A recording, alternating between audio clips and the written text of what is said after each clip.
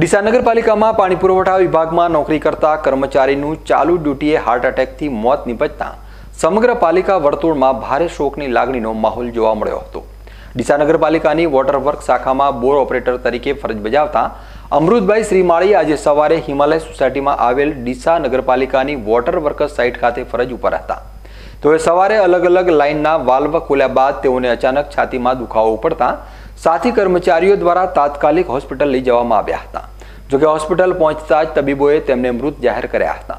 અમૃતભાઈ શ્રીમાળી વર્ષોથી ડીસામાં water workers શાખામાં ફરજ બજાવતા હતા અને પ્રામાણિક અને કર્તવ્યનિષ્ઠ કર્મચારી તરીકે તેઓની છાપ હતી.